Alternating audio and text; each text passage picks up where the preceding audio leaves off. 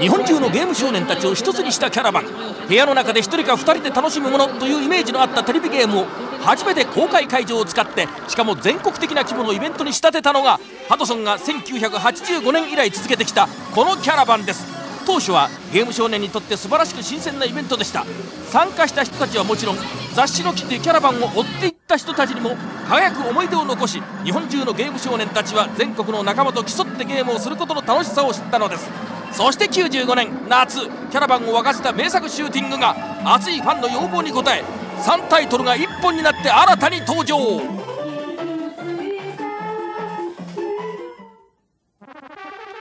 キャラバンシューティングコレクション。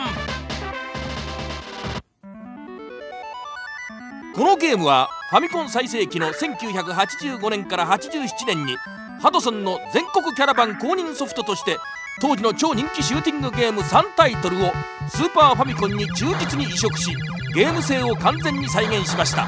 そしてこれが第1回キャラバンを飾ったスター・フォース。さまざまな謎の仕掛けを盛り込んだシューティングゲームのスタンダードとなった名作です。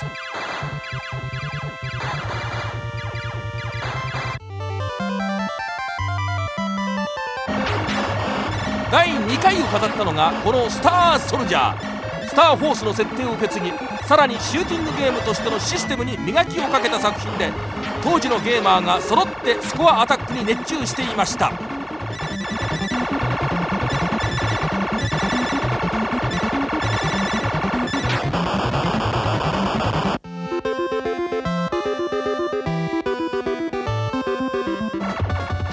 第3回に登場したこのヘクター87はステージが縦スクロールと横スクロールが交互に現れ敵キャラの動きも複雑回帰。頭を使って戦わないととてもクリアはできないと当時戦略シューティングという言葉が生まれました。